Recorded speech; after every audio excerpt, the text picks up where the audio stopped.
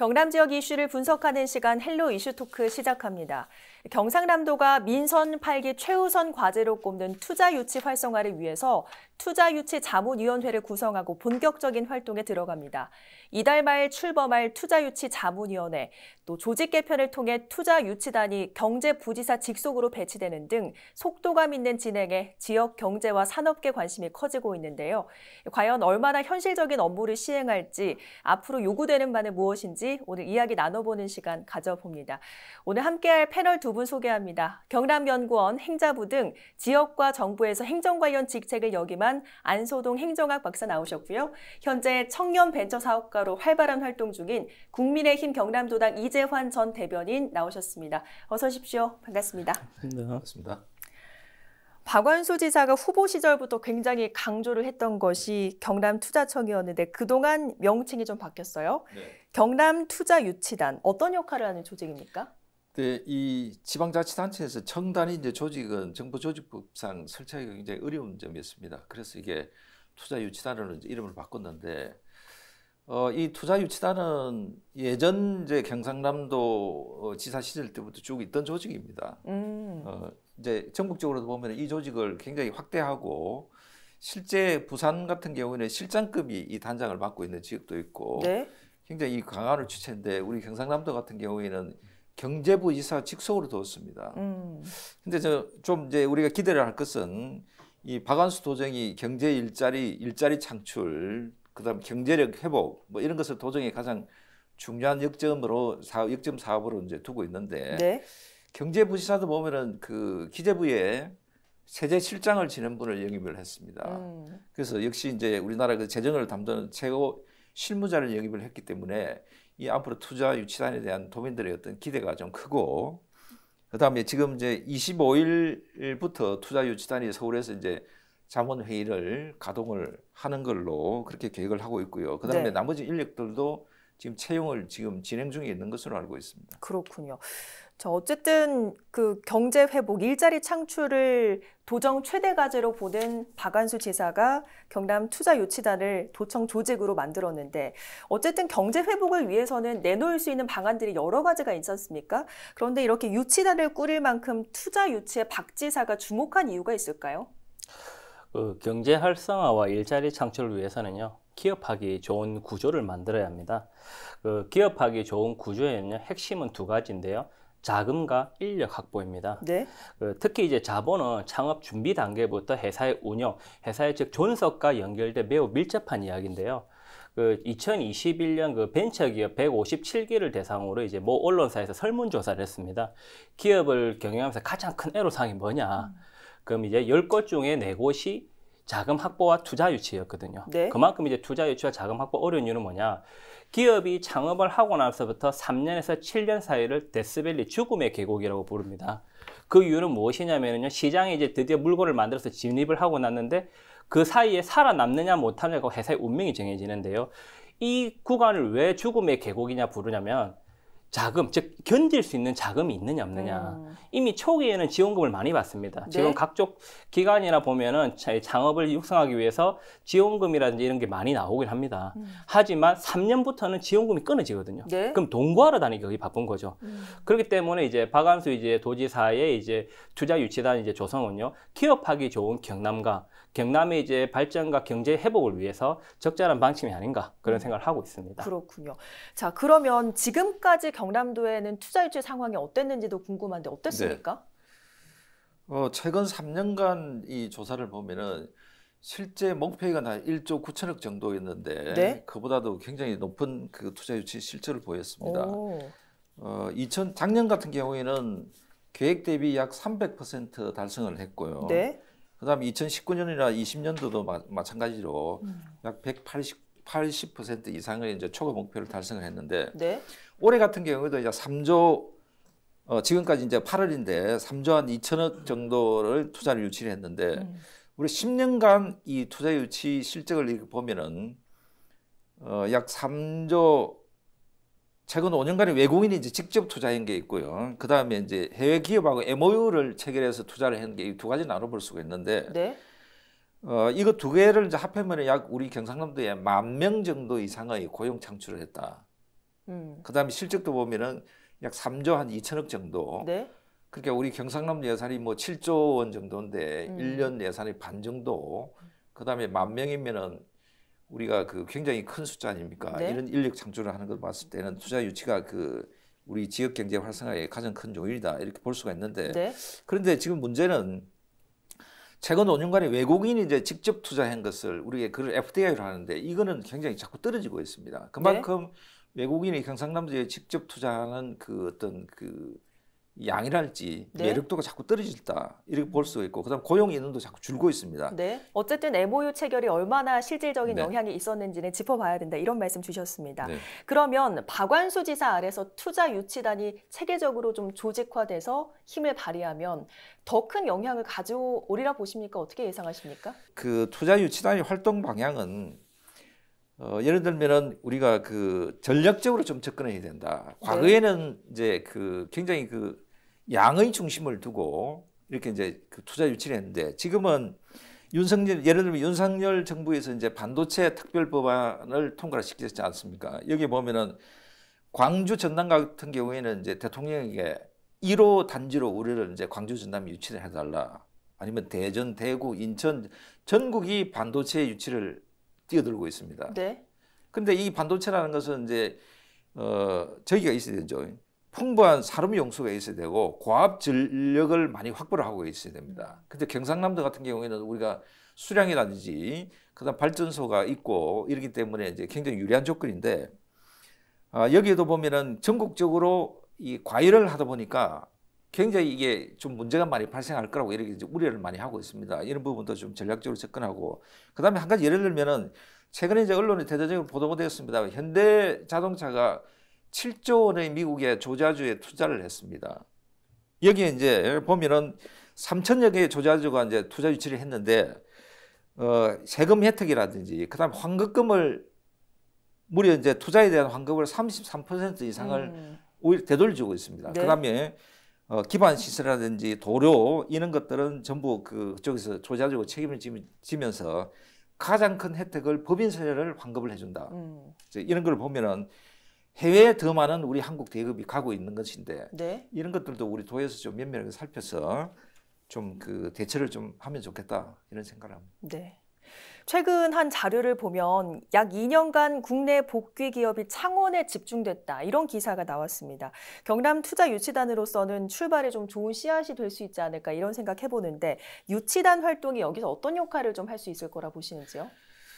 네, 이번 달 이제 25일부터 서울에서 첫 이제 그 뭐 세미나도 하고 이렇게 여러 가지 이제 고민 전략을 세우고 하는 이런 회의를 한다고 합니다. 근데 투자 유치단은 이제 주로 그분들이 갖고 있는 그 인맥이라든지 노하우라든지 그다음에 여러 가지 정보를 이제 그분들은 이제 우리가 그 제공을 받아서 어 실제 투자 유치를 할 수 있는 그 어떤 기반 통로를 그분들이 한번 뚫어준다 이렇게 볼 수가 있는데 어, 앞으로 저는 그 경제 활성화를 위해서 그 이 좀 투자 유치단도 지금 현재 이제 경상남도에는 과장급으로 직제를 두고 있는데 부산 같은 경우에는 아마 실장급으로 굉장히 격상을 했습니다. 음. 그래서 저는 이번 기회에 투자 유치가 이렇게 중요하고 큰 과제라면은 네. 박완수 도정도 아마 투자 유치 단장을 최소한도 국장급 이상으로 좀 격상을 시켜서 네. 좀 힘을 실어줘야 된다. 저는 그렇게 보고 있습니다. 네.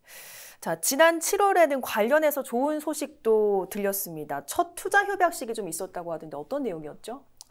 어, 박완수 경남도정이 출범한 후 첫 그 투자 협약이 체결됐는데요. 이제 먼저 회사 소개를 좀 드리겠습니다. 세아항공 방산소재, 성호전자, 동진전공, 녹십자 의료재단, 휴먼테크, 동원로엑스, DW 글로벌 액세스월드 등 총 8개의 기업과 협약을 체결하여 3,135억 원, 그다음 네. 699개 새로운 일자리가 창출될 것으로 기대가 되고 있습니다. 자, 첫 투자 협약식이 있었는데 이재환 대변인께서는 또 정치인으로 활동도 하고 계시지만 최근에 또 창업을 하셨다고 들었어요. 네. 특허를 또 갖고 있다고 들었는데 이런 청년 창업 기업가로서 봤을 때 이런 사례들 좀 순기능이라고 보시는지 어떻게 보십니까? 투자 유치는 당연히 순기능이죠. 그리고 이제 지금 현재 투자 유치 활성화는요, 뭐 특별한 사례가 아니라 일반적인 사례입니다. 그 시청자 여러분들께서 한번 투자에 대한 개념을 제가 조금 말씀드리고 한번 좀 주의 깊게 들어봐 주셨으면 하는 게 보통 아이디어 내가 가진 제품을 만들어내고자 할 때 드는 그 투자가 시드머니, 종잣돈이라고 하죠. 보통 1억 원에서 5억 원 정도가 듭니다. 그 다음 이제 시리즈 A라고 이제 시장에 진입하고 이제 제품이 나왔을 거 아닙니까? 여기에서 받는 금액을 10억에서 한 30억 정도를 받는 거죠. 그 다음 시리즈 B라고 해서 이제 시장에서 어느 정도 제품이 인정이 된 거죠. 그럼 이제 시장 점유율이 얼마나 확대될 것인가로 보는 게 시리즈 B라고 하고 이제 시리즈 C가 되면은 100억에서 500억 대형이 되는 거죠. 네. 근데 왜 제가 이런 투자 단계를 말씀드렸냐라고 말씀드리면은 종잣돈 지금 이제 모든 투자 유치의 그 정책과 모든 포커스가 종잣돈 시드머니에 집중이 되어 있습니다. 즉 네. 기업의 일자리를 창출하고 성과를 위해서 실적에 의해서 얼마나 창업을 많이 하느냐가 달려 있는 거지 음. 기업을 유지하고 키우고 발전시키는 데는 그 모습이 없는 거죠. 네. 제가 그 3년에서 7년 사이를 데스밸리라고 해서 기업이 살아남는 운명이 걸린 시간이라고 말씀드렸지 네. 않습니까? 이거를 보통 시리즈 A 기간에 들어갑니다. 근데 여기서 또 하나 짚고 넣어야 될 문제가 뭐냐? 시리즈 B 회사가 100억 정도 투자를 받을 수 있는 규모가 됐을 때는요. 제법 기업이 컸거든요. 네. 시장 점유율의 확대를 위한다라고 하면은 투자하는 업 쪽에서는요. 투자자 측에서는 지방에 있는 것보다는 수도권으로 그 회사를 데려가려고 하는 겁니다. 네. 즉 지역에서 투자를 받아서 큰 회사들을 투자하는 회사 이 회사가 좀 더 커서 수익을 남기고 싶으니까 음. 서울로 진출을 해라. 그냥 창원을 마- 마- 경남이 만약에 본사다. 그럼 여기를 지사로 하고 본사를 올라가라. 이런 식으로 오히려 역효과, 즉 수출, 역수출이 되는 거죠. 네. 지역에서 기업을 키워서 오히려 뺏기는 결과도 초래할 수 있기 때문에 투자에 대해서 유치도 하고 진행하는 건 좋은데 네. 좀더 현실적으로 접근할 필요성이 있다. 이 부분을 꼭 말씀드리고 싶습니다. 그렇군요. 두 가지 말씀해 주신 것 같아요. 기업이 지속할 수 있도록 투자를 좀 해야 한다. 그렇죠. 이런 말씀이랑 경남에서 키운 기업이 수도권으로 이동하지 않도록 잘 해야 한다. 이런 그렇죠. 말씀 주셨는데 그러면 지역 청년 기업 창업자로서 어떤 요구를 좀 하고 싶으신지 궁금한데요. 2020년 벤처 기업에 투자된 금액이 역대 최고였거든요. 네. 무려 4조 5천억에, 4조 3,045억에 육박을 합니다. 네. 그런데 엄청나게 많은 그 투자가 됐다고 보실 것 같지만은 실제로 보시면은 투자 폭력 속의 빈곤이라고 스타트업이라든지 비대면, 그 다음에 바이오 등 특정 분야에 집중돼서 투자가 됩니다. 네. 즉 투자금이 규모만 보면 많지만은 어떤 분야에 대해서는 되게 많고 음. 다른 분야엔 적거든요. 네. 특히 경남 같은 경우는요. 저도 지금 제조업을 지금 하려고 지금 하고 준비를 해서 이제 기술 특허도 내고 만들어가는 과정을 보면요. 제조업에 대해서는 생각보다 투자가 많지가 않습니다. 오. 뿌리 산업이거든요. 네. 경남은 제조업이 발달한 지역인데 제조업을 키우기 위한 노력이 좀 많이 필요한 것 같아요. 음. 그러면 이제 투자를 하더라도 좀 골고루 균형감 있게 가야 되는 거고요. 네. 또 하나 이제 투자 투자 하는데요. 기업들도 그 좀 유심히 봐야 될 게 좀비 기업이라고 있습니다. 네. 보조금에 의존해서 생, 그 연장하는 기업들이 있거든요. 네, 네. 좀비 기업은 연구개발 기업으로서 필요합니다. 하지만 보조금에 의존해서 연장하는 기업들은 정부 즉 세금으로 기업을 살리고 그 다음에 지자체장과 정부의 실적을 위해서 그냥 알면서도 넘어가는 경우가 많거든요. 이런 부분에 대해서는 가감하게 짚고 결단을 내리고 양질의 기업이 클 수 있도록 네. 선택과 집중을 하는 게 필요하지 않냐. 그런 말씀을 꼭 드리고 싶습니다. 네, 좋은 말씀 주셨는데요. 자, 지방 행정대 기업의 투자 유치를 지원하다 보면 유치를 하기 위해서 이 기업에 과도한 혜택을 주는 경우도 있습니다. 네. 앞서 뭐 미국이었나요? 네. 법인세를 다시 돌려준다. 뭐 이런 말씀도 하셨는데, 자, 이런 것 때문에 그 예산으로 지역 기업을 직접 지원하는 게 낫지 않냐 이런 의견도 있거든요. 어떻게 보십니까? 네, 뭐 이 그 기업 지원 정책은 이제 투자 유치를 통해서 기업을 지원하는 정책이 있고 또 그다음에 우리가 이제 지금 현재 그 경상남도에 있는 그 여기서 생존하는 기업에 대한 정책 뭐 여러 가지 나눠 볼 수가 있는데 어 상대적으로 뭐 어, 지금 생존하고 있는 기업들은 투자 유치 쪽에서 너무 과도한 혜택을 주지 않느냐 이런 네. 이제 불만 이제로 볼 수가 있겠지만은 그 기업 투자는 사실은 이제 여기 투자를 할 때는 그분 이제 그쪽 나, 투자하는 회사에서는 굉장히 자기의 그 위험을 감수를 하고 투자를 합니다. 네. 투자에 대한 기대 이익이 얼마나 나올 것인가. 그다음에 투자를 했을 때 여기에서 우리 기업이 얼마나 생존율이 있을까, 얼마나 여기에서 기업하기 활동하기 좋을 것인가 이런 여러 가지 그 조건을 따지고 들어오기 때문에 저는 뭐 앞서 이제 예를 들었습니다만은 우리 한국의 대기업들이 지금 최근 들어와서 지금 바이든 정부에서 지금 미국에 굉장한 투자를 하고 있지 않습니까? 우리나라에 지금 올해 예산이 603조인데 6, 올해 이제 어떻게 보면 600조 이상의 해외에 투자하겠다 대기업들이 그렇게 계획을 세웠지 않습니까? 네.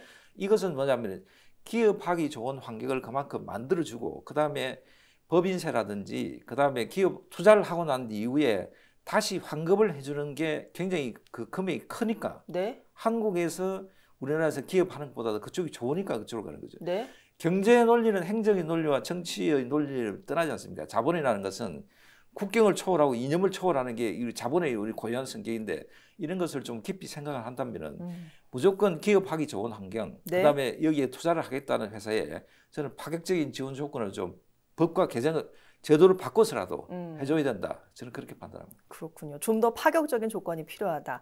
자, 지난 8월 1일에 경남 투자유치단의 자문위원회가 구성이 됐습니다. 앞서 안소동 박사께서 대기업 CEO로 구성이 됐다. 뭐 이런 말씀 주셨는데 그 소속과 직함을 좀 들었을 때는 지역 기업인들의 귀가 좀 솔깃해질만 하거든요. 어떻게 보십니까?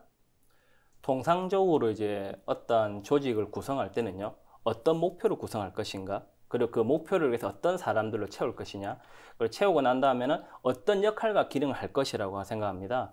그렇기 때문에 지금 투자 유치단에 지금 구성된 부분을 보면 대기업 관계자, 금융 관계자들 분도 되게 많습니다. 근데 조금 이 부분을 했을 때는 아 전문가들이 많이 왔다 이렇게 칭찬받는 부분도 있을 수 있는데요. 조금 아쉬운 부분이 있다면요.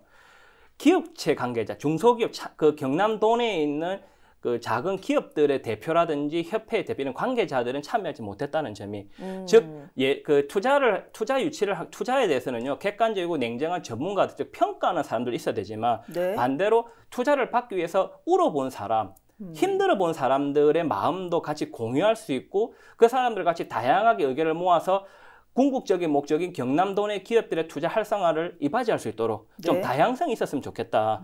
굳이 갑의 입장에서 내가 판단을 하고 투자했던 사람뿐만 아니라 을의 입장에서 투자를 받기 위해서 울어본 사람들도 많이 참여를 해줘야 음. 아, 어느 부분이 투자가 필요하더라. 그러면 투자를 판단했던 사람들은 아 이런 이런 부분을 투자를 할 수 있다. 이런 식으로 서로 조화를 이루어서 같이 나아갈 수 있는 상생과 공존하는 위원회가 좀 되었으면 하는 아쉬움이 조금 있습니다. 그렇군요. 구성의 다양성이 좀 아쉽다 이런 지적 네. 주셨는데 앞으로 이 자문위원회, 자문단 어떤 역할을 하게 됩니까? 계획에 대해서 좀 아시는 바 있으십니까? 네, 지금 현재 이제 밝혀진 이제 지금 현재까지는 어 25일에 서울에서 이제 투자 투자 유치에 대한 설명의 전략을 이제 짜 이분들하고 같이 의논을 하는 것으로 그렇게 계획을 하고 있는 것으로 알고 있습니다만은 어 저는 뭐 이번 기회를 통해서 경상남도에서 이제 뭐 여러 가지 그 이전 정부에서도 마찬가지입니다. 투자 그 자문단을 구성을 하고 투자 유치단을 물론 이제 직제 이름만 다를 뿐이지 실제 내용은 똑같은데 그다음에 경상남도가 타 지역에 비해서 굉장히 그 계획 대비 실적은 많이 이루었습니다만은 네. 어, 도민들이 이 투자 유치단 활동을 통해서 실제 MOU 책이라든지 이런 단계에서부터 그 이후의 단계가 얼마나 실제 그 투자 유치를 이어졌고 성과가 어떻게 나오는지 네. 이런 부분도 굉장히 궁금해하는 부분이 많이 있습니다.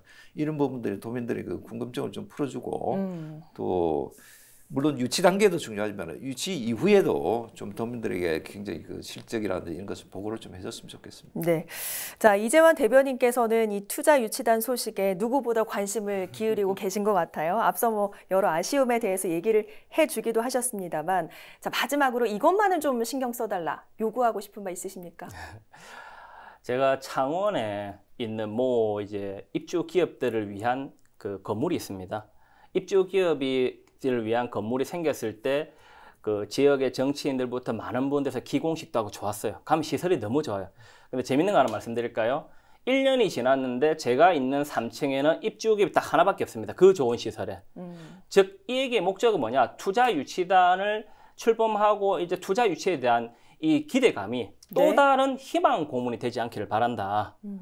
이 얘기를 듣고 아 나에게 기회가 올 것이다 열심히 하면 될 것이다 즉 희망에 신뢰할 수 있도록 도와줘야 되는 건데 제가 조금 전에 텅 빈 사무실 이야기하듯이 막연하게 실적주의에 빠져가지고 매몰되어서 양적 결과물이 아닌 질적 결과물을 만들 수 있는 그런 투자 유치단의 활동이 되기를 그 경남도 내 청년 창업가의 한 사람으로 간곡히 기대합니다. 알겠습니다. 오늘 두 분 말씀 여기까지 듣겠습니다. 고맙습니다.